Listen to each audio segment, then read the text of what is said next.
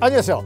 어, 코로나19로 우리 모두가 어려움을 겪고 있지만 민족의 명절 한가위만큼은 풍요로운 한가위를 보내시기를 진심으로 기원해 드리겠습니다. 네, 시청자 여러분 덕분에 편스토랑이 2주년을 맞이했습니다.